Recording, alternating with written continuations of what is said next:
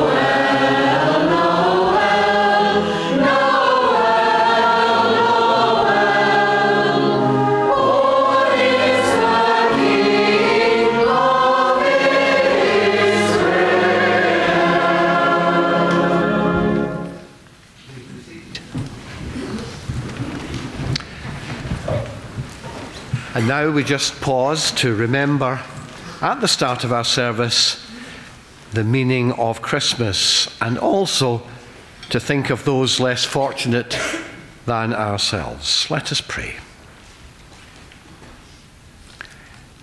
Heavenly Father, as we await the celebration of the birthday of your Son Jesus, cause us to wonder Creator of the universe emptied himself of the splendour and glory of heaven and took upon himself the feeble frame of a fragile baby.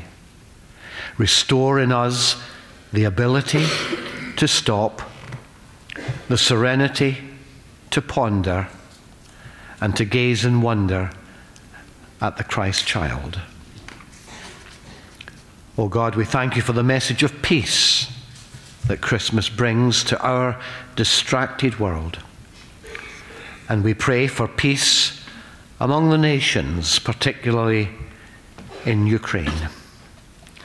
Peace in our land, in our homes, and peace in our hearts. Lord Jesus Christ, born in a stable, hear the cry of the homeless and refugee. May we not rest content till all have found a home and livelihood.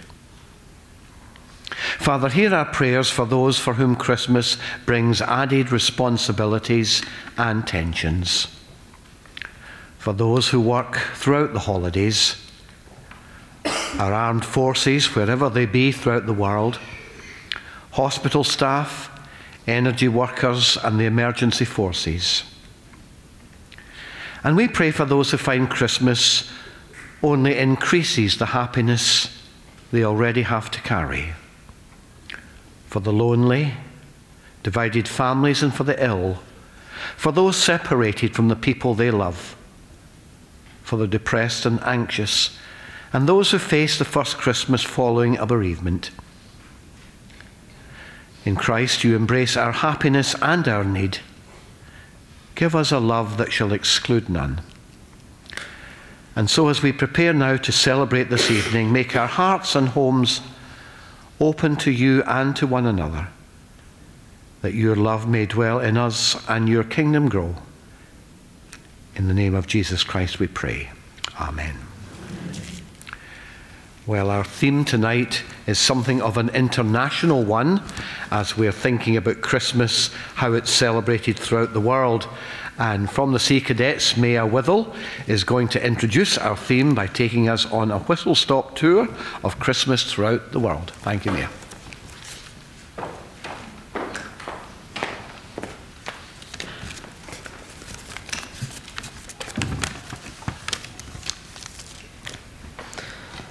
Christmas is a time for celebration and happiness.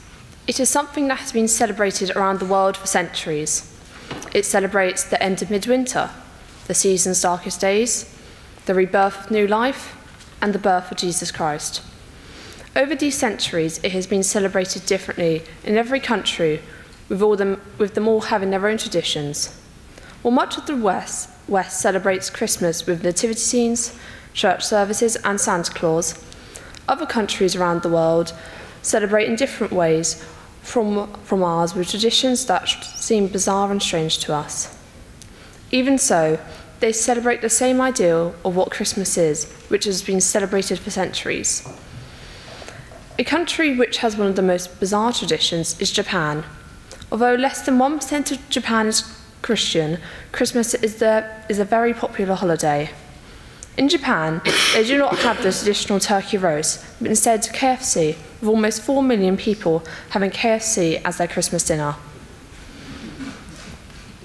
While in Italy, they don't have Santa who comes down the chimney to deliver presents, but instead Befana, the Italian witch who, who delivers presents to the good children and kidnaps the naughty children for her hungry husband to eat. In Poland, Christmas Eve is the most important day in the festive season, where they have a feast normally consisting of 12 different dishes representing Jesus' 12 disciples. It is believed by Catholics that eating all of these courses will provide you with good luck for the next 12 months. In Germany, we share some of their traditions, with Germany being responsible for the origin of the Christmas tree, something which is a staple part of Christmas in this country and won't be Christmas without it. They also hold markets where they do a lot of their Christmas shopping. In Sweden, Norway, and Finland, St. Lucia Day is a special part of the Christmas season that commemorates a woman who is said to be the first Christian martyr. This celebration involves a candlelit progression where the eldest girl is dressed up like Lucia in a white gown and wears a wreath of candles on their head. Even though Christmas is celebrated all around the world in different ways, it still holds the same principle. It is a time for celebration, thanksgiving, and togetherness with loved ones. Religious or non religious, many households will be celebrating Christmas in their own way this year.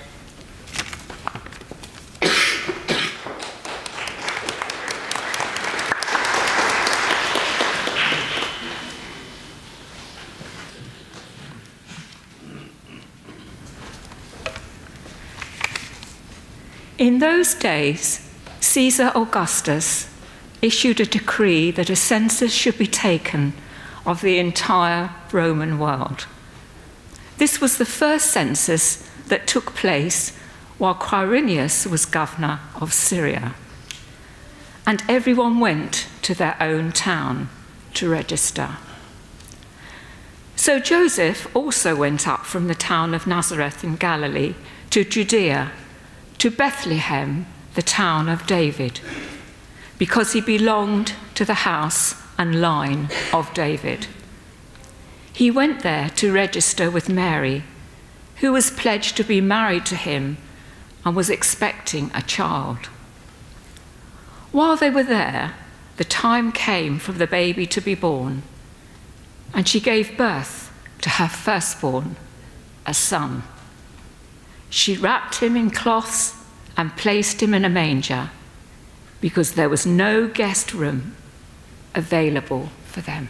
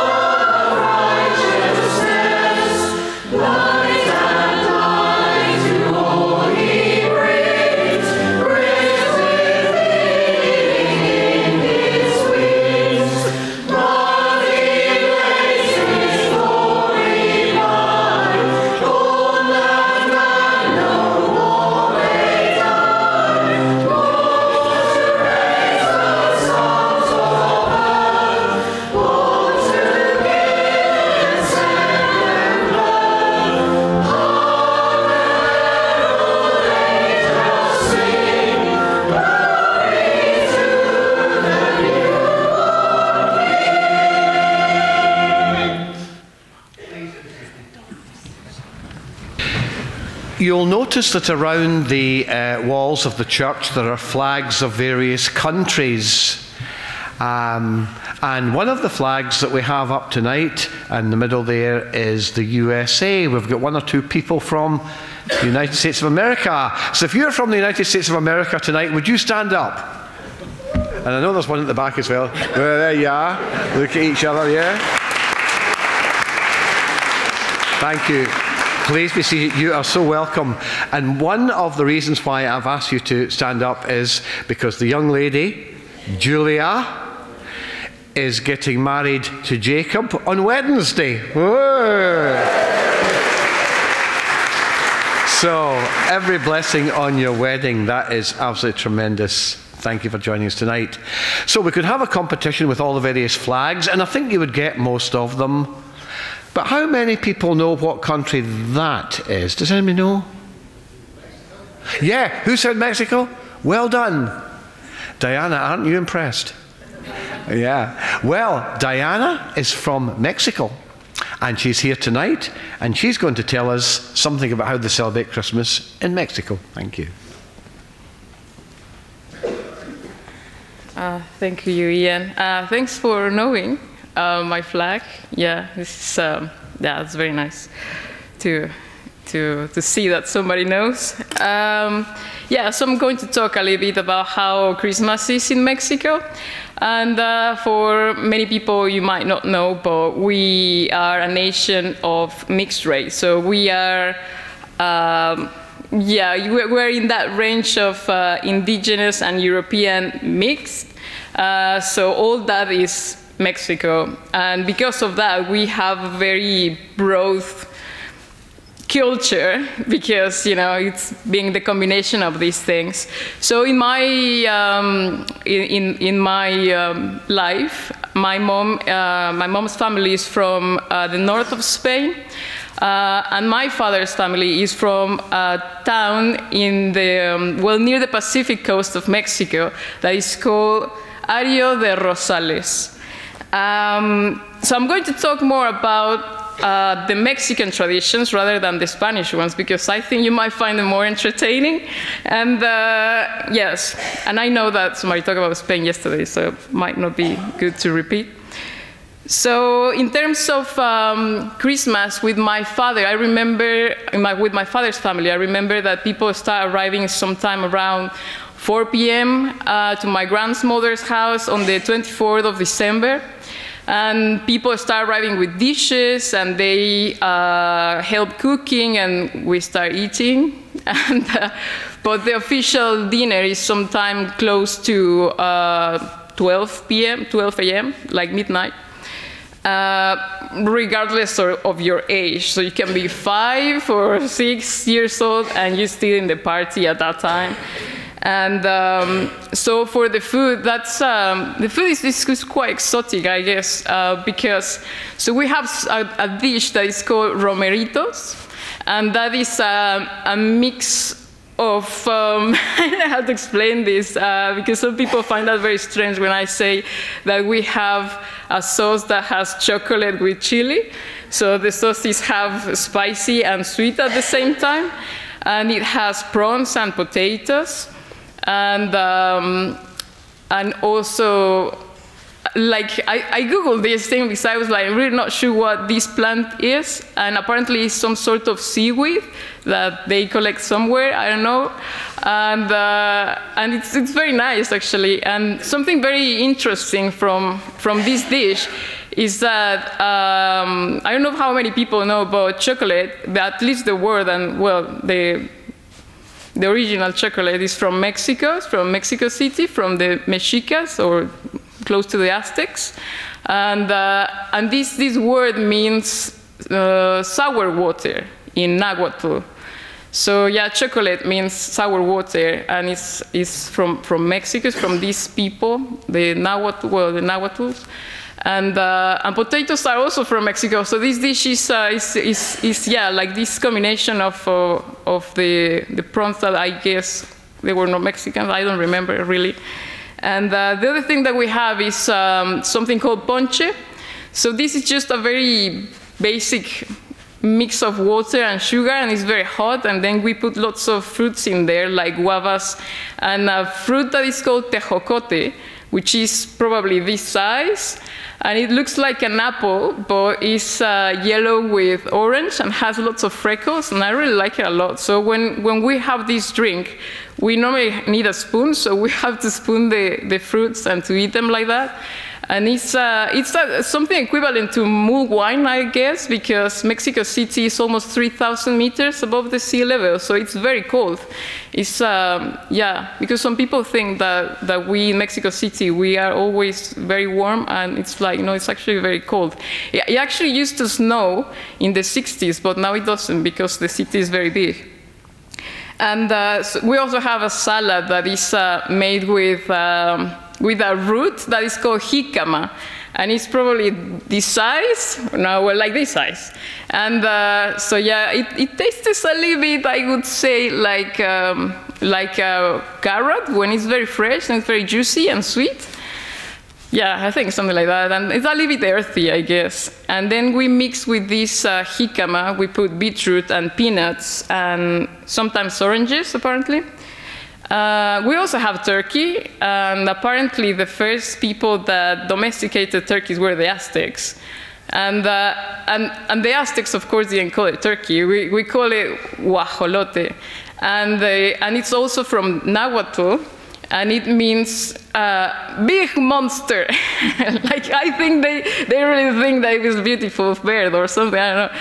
And uh, but yeah, that's something that we also have. And uh, and another thing is that we we have something called tamales, which I'm not sure if some some of you have seen or tried, which is um, um, corn dough mixed with uh, tomato sauce and, uh, and tomato is also an, a word that comes from, from these, uh, the Mexicas or the Aztecs, the Nahuatl, and it means bag of water with a navel. So I don't know if you've noticed the navel of the tomatoes, but apparently they have one. And, uh, and then the other thing is that, yeah, we all the time like dancing. There's lots of uh, salsas and cumbias and boleros, and people sing and dance. And, uh, and then we reach a time when um, we have piñatas. And I don't know if you know what a piñata is. I'm going to like fast explanation. It's like Richard helped me to, to describe this thing because I was like, really know what to, to describe it. But so it's a, it's a container like, like this. That uh, if it's for children, it's made with newspaper paper, paper, newspaper, yeah. And, uh, and if it's for adults, it's um, a clay of pot, clay, yes. So it's quite dangerous because you're supposed to, to heat this thing to, to get all the things that are inside. That traditionally we used to put just uh, fruit, uh, but now we put sweets as well. And, uh, and it has this, um, how do you call it, Richard? Like peaks? Like this uh, um, pointy bits. I think that was the best description that we could get from. And it has these seven pointy bits, and each of, of these things represent uh, a deadly sin. I think that's something that the Catholics like brought, and yeah, that was the way of explaining the Bible, I guess. I don't know.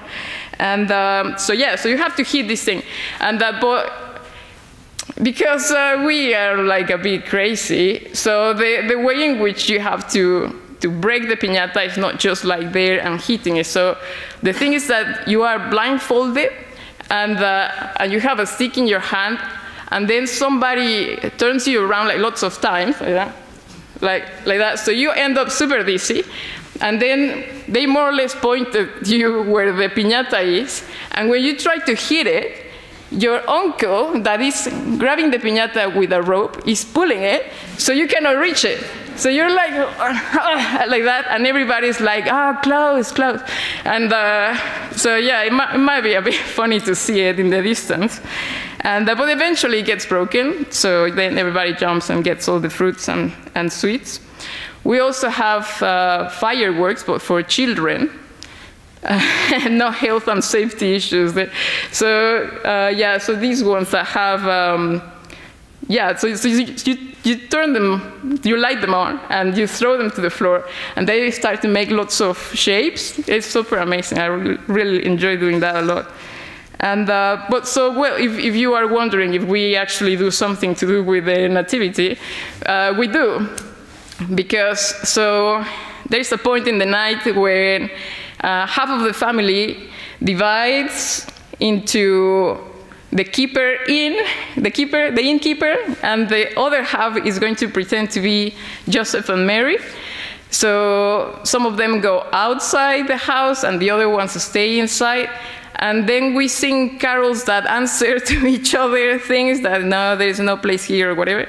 And uh, until we eventually reach a point where we let them in and we celebrate, and then we bring out this, um, like Jesus you know, that everybody carries around. And uh, that's, that's the, the way, like, very fast to describe how it was having Christmas with my um, family in Mexico.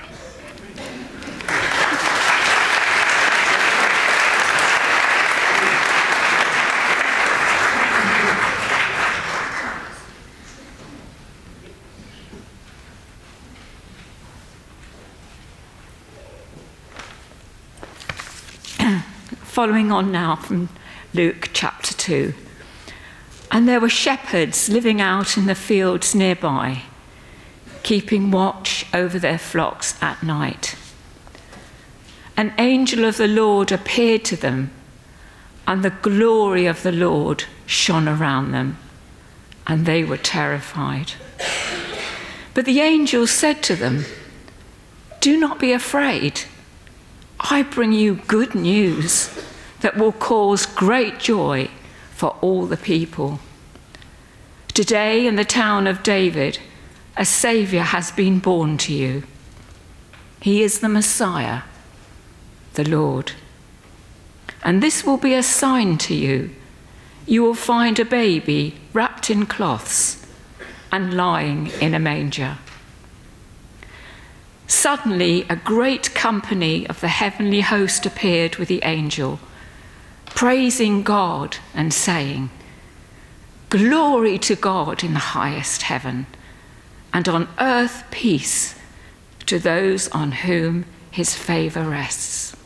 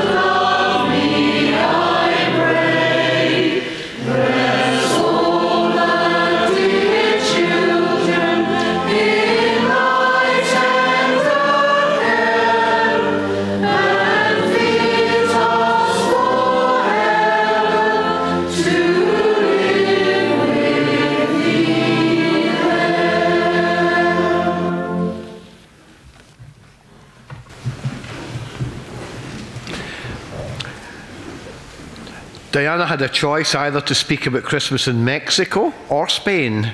I'm glad you chose Mexico because Jasmine is going to speak to us about Christmas in Spain. Thank you, Jasmine.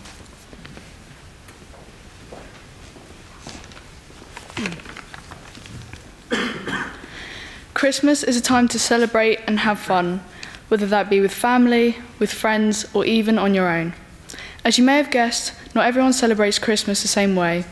For some, it's about religion, others, tradition, and many opening presents and the lovely food that's on offer to eat. Just like you can see pretty little scenes in the windows of the houses of many people in the UK, people in Spain also have them. They're known as Belens, which translates to Bethlehem. However, they're not just little boxes with a few figurines in. Instead, they're elaborate scenes with farms, houses, rivers, and many figurines that represent nativity scenes. In Spain, they also put them in towns and shop windows for even bigger scenes. On Christmas Eve, many Spanish people go to church to celebrate their faith called La Misa del Gallo, which translates to the Mass of the Rooster.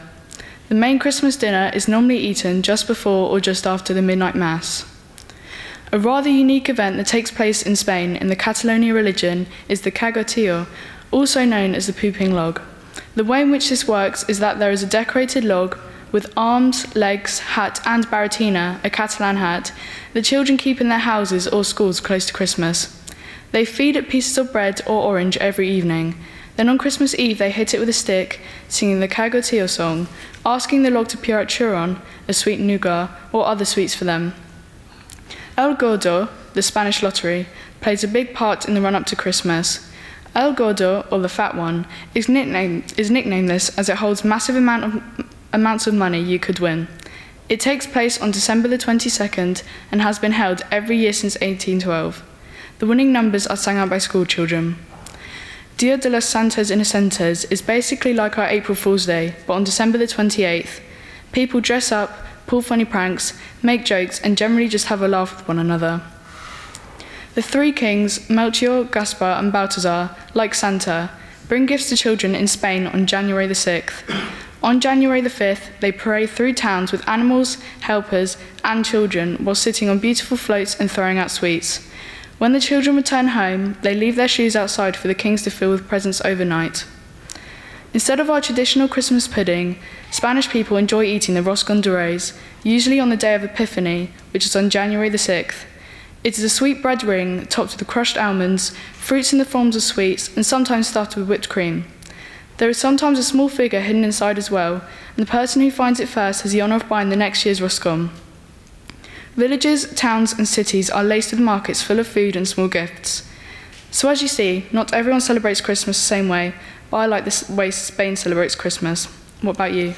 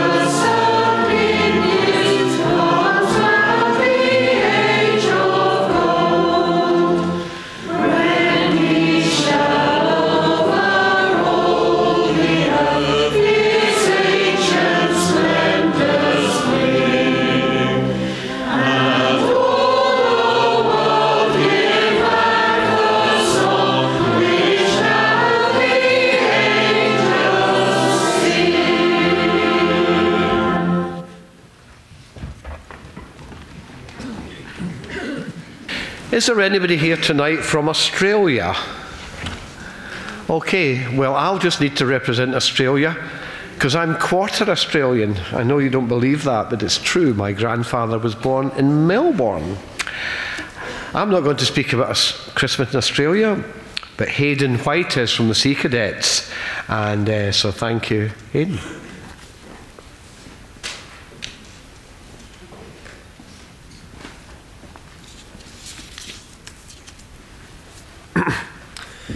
2016, I was lucky enough to get the chance to spend Christmas with my family in Australia. We stayed with my aunt and uncle in Sydney.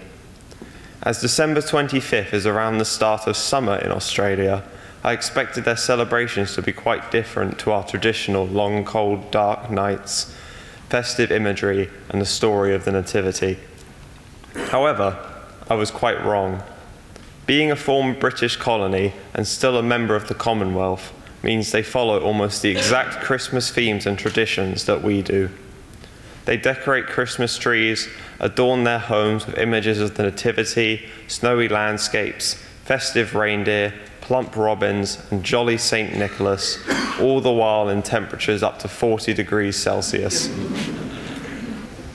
As we all know, it is not uncommon to look out the window at this time of year in the UK and see a robin or blackbird in full winter plumage scratching through the soil for a tasty morsel or two. Whilst in Australia, I was very surprised to look out the window and see very different types of birds scratching around in the heat. Would anyone like to guess what type of birds they were? Just shout out any. Budgies. Well, some very good guesses, and I did hear one right answer, but what there were were sulfur crested cockatoos and ibis. In fact, ibis are like their version of our pigeons and are generally treated as pests. It, it very rarely snows in southeast Australia, but it never happens during Australia's upside down Christmas in summer, and traditional Nordic pine trees cannot grow in the country at all. It's just too hot. Whilst all the advertisements and decorations show families at home gathered around a fire whilst it snows outside, Australians often take to the outdoors and celebrate Christmas in shorts and a t shirt. We had a barbecue as our Christmas dinner. whilst it wasn't traditionally festive, while sitting enjoying a meal with family and friends on this important day, toasting the year past and looking forward to the year to come, and being thankful for all we had whilst feeling blessed to feel with our loved ones, it was very easy to become immersed in the Christmas spirit. Australia is still predominantly a Christian country like ours, so whilst most people celebrate Christmas, there are a fair amount of people who do not. For example, my uncle's neighbour is Hindu. With that in mind, can you guess what he was doing on Christmas morning? Any guesses? That's very good guesses, but he was actually cutting his lawn. I was very surprised to hear the steady hum of a petrol lawnmower on Christmas morning. Certainly not something I've ever heard here in the UK. Overall, it was very enjoyable to spend Christmas in another country and during another season. The spirit of Christmas and the importance of the Nativity is not at all lost on the people of Australia. They come together as friends and family to celebrate the birth of Jesus and to hold important values such as friendship, compassion, charity, and love. It was wonderful to have the opportunity to be a part of it all. That said, I am ready to throw away my woolly Christmas jumper, roast turkey, and all the trimmings, and sing festive carols during the long, cold, dark night in favour of shorts, t shirt, and a barbecue. or maybe not. I hope you enjoyed this short speech. Thank you for listening.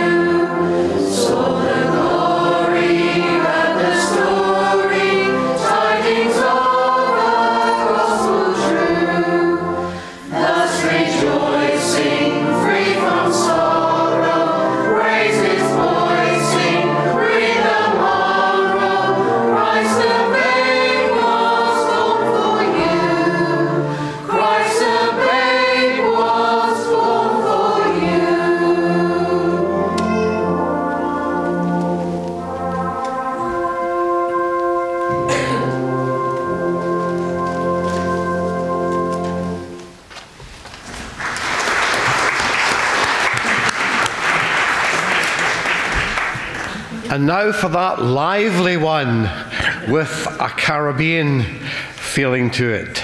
See him lying on a bed of straw, the Calypso Carol. We take up our evening offering during this. Thank you.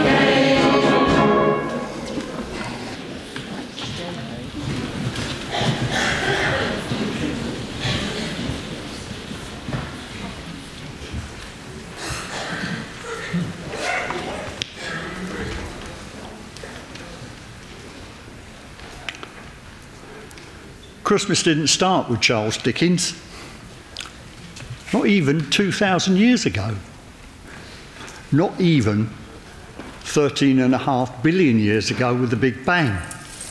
Even before that, John writes, In the beginning was the Word, and the Word was with God, and the Word was God. He was with God in the beginning. Through him, all things were made. Without him, nothing was made that has been made. In him was life, and that life was the light of all mankind. The light shines in the darkness, and the darkness has not overcome it.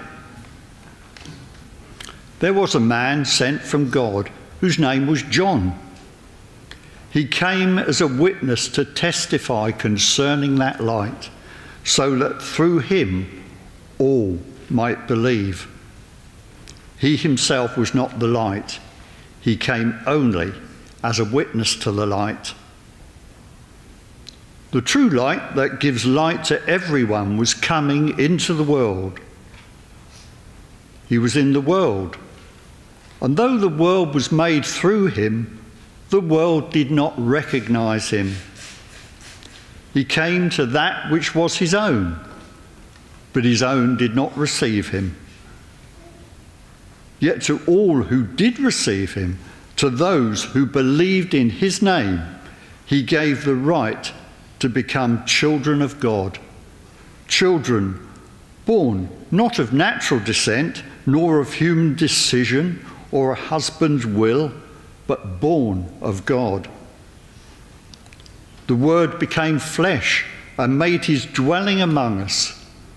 We have seen his glory, the glory of the one and only Son who came from the Father, full of grace and truth.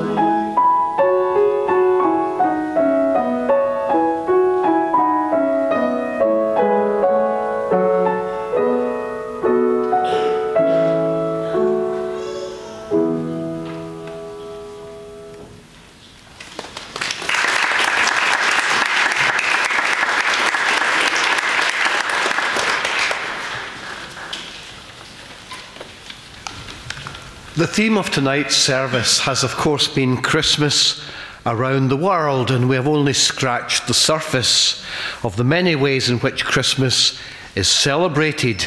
And it's reminded us that we are part of a whole worldwide family. Martin Luther King, in the last Christmas sermon he ever preached, reminded even the most bigoted racist that they can't leave for their job in the morning without being dependent on most of the world. You get up in the morning and reach for a sponge in the bath or shower by courtesy of a Pacific Islander. You reach for a bar of soap, invented by the French. You go into your kitchen and pour yourself a coffee, harvested for you by a South American. Or perhaps you prefer tea, which, although the packet says is from Yorkshire, is actually from India or China. Or maybe your cereal of choice is Coco Pops, which of course probably comes from Ghana, as does this stole I'm wearing. And your marmalade on your toast may well be from Spanish or Israeli oranges. And all that even before you've left the house. Christmas is an international celebration. But is it just for Christians? Should it only be Christians who are celebrating it? Nadiya Hussain, the Muslim winner of Bake Off, writes in her book about some of her favourite Christmas recipes and how to help make Christmas stress free. As a result of writing a book about Christmas, she received criticism both from Christians who said she had no right because she wasn't a Christian but a Muslim. And she also received criticism from Muslims who said she had no right to do so because she was a Muslim. Proving the point exactly that for some, there's only one thing worse than an immigrant trying not to fit into British society, and that is an immigrant who does try and fit into British society. And is Jesus, whose birth we are celebrating at this time, only for the British, the Europeans, the white people, or the Christians? Well, sometimes we're given the impression that that is so. The traditional Christian iconography, from stained glass windows to Hollywood actors, portrays Jesus mainly as a blue eyed white Caucasian. So, is it any wonder that some people from other cultures and lands see him not as one of their own, and so turn to more culturally relevant models. One of the most overlooked facts about Jesus was how everything about him did not put him into any box or stereotype, so that properly understood, he is the universal expression of humanity to the extent that he belongs to none and yet belongs to all. As the carol we will sing in a moment says, Joy to the world, not just to the West. Joy to the world, the Lord is come, let earth receive her King. And it's almost as if the birth of Jesus was planned in a very exact way, not just by choice, by chance. For a start, he was born in the land of Israel, which was the very centre of the then known world, exactly between Europe, Asia, and Africa, right in the middle, touching all, yet belonging to none. He was born into a poor family as at his presentation in the temple 40 days later, his parents could only afford what was called a poor person's offering. And yet, in his veins flowed the blood of royalty. He was even a direct descendant of the great King David. And Matthew's Gospel, the first book of the New Testament, begins with the genealogy of Jesus. And if you try and make a study into his various ancestors, you will discover that he was truly a mongrel, as most of us here are. I am part Scottish, Irish, Australian, and Anglo Norman, and probably other things as well. And so, in the genealogy of Jesus, we find that he was descended from Canaanites, Moabites. His ancestors were the original inhabitants of Ethiopia, Sudan, and Egypt, as well as various ancestors of the European people. And so he walked on this earth as a multi ethnic human being. He was neither black nor white, in which he transcends and dismantles race. He spoke three languages. Mainly, he spoke Aramaic, which was the tongue of the common people among whom he lived. But he also spoke Greek, by which he could have conversed with the educated people. He also spoke Hebrew, by which he could read the Old Testament scriptures and join in the liturgy of the synagogue. He defied the tradition and stereotype of his culture by remaining unmarried. Yet he enjoyed the deep friendship and intimacy of men like John the Apostle, who rested on his breast at the Last Supper, and Mary Magdalene, who dried his feet with her hair. He broke down barriers between Jews and Samaritans. He exalted the place of women, brought children right into the center of his teaching. He embraced the lepers, and the unclean were his friends. Indeed, the New Testament tells us that in Christ there is neither Jew nor Gentile anymore, neither male nor female. And he is much more than a great teacher, a moral example, a social equalizer. For at his conception, the angel told Mary, his mother, that he was to be called Jesus or Yeshua in Hebrew or Joshua in English, meaning Savior, Savior, for he will save people from their sins.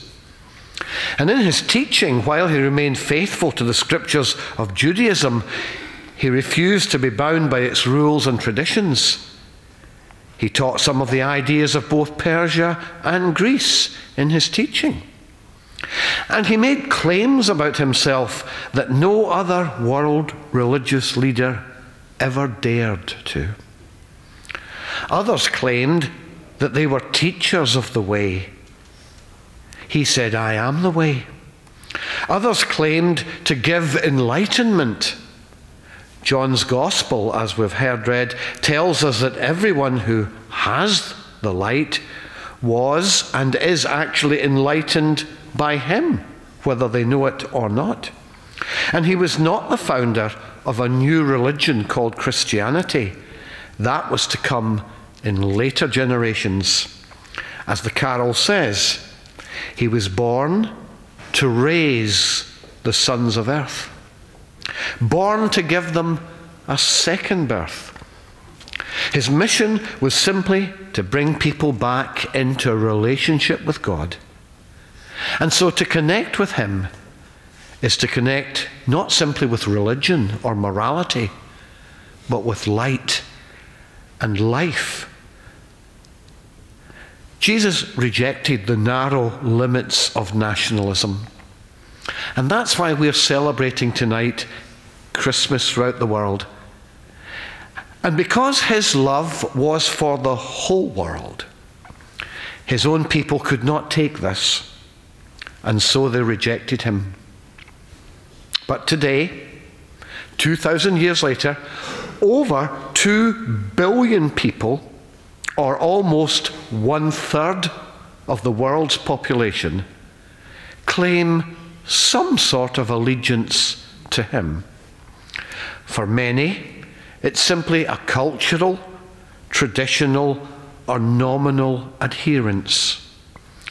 But among these are millions who have discovered that in him is life, forgiven life, abundant life contented life, healing life, and eternal life given freely to all who receive him, who believe in his name, and who are born into a new family encompassing all races. And so we stand to sing our final carol, Joy to the World.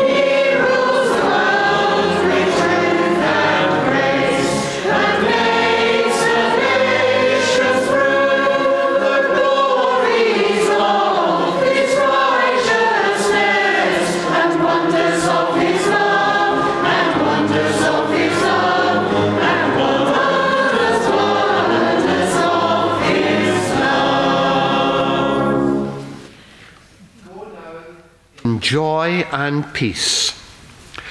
The wisdom of the wonderful counselor guide you. The strength of the mighty God defend you.